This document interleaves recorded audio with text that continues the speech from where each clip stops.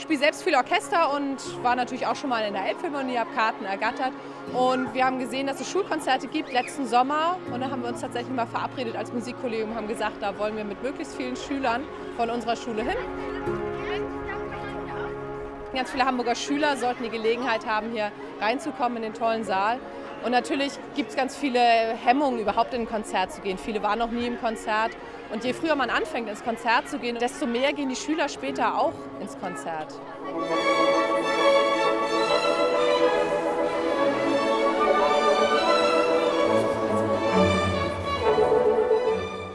Die Hasper Musikstiftung ermöglicht uns, die Schulkonzerte in dieser Bandbreite überhaupt erst zu machen. Die Einnahmen sind ganz klein, weil die Tickets kosten ein paar Euro. Und dass die Hasper da mit ihrer Musikstiftung so also nachhaltig einsteigt, ist eine große, große Hilfe.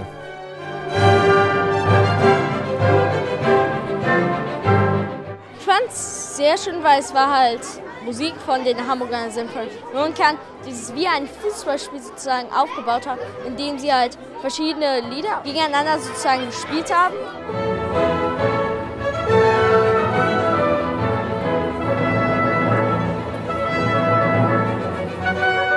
Ich fand es sehr schön aufgebaut und es war sehr symphonisch.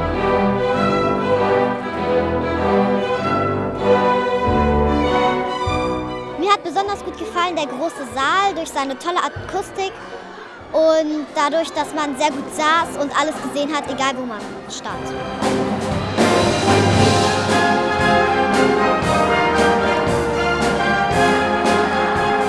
Wir besprechen nochmal tatsächlich, was haben wir eigentlich gehört für Stücke und Instrumente haben wir noch gar nicht so richtig besprochen, aber das greifen wir jetzt nochmal auf, einfach zu gucken. Die meisten haben jetzt eigentlich alle Instrumente erkannt.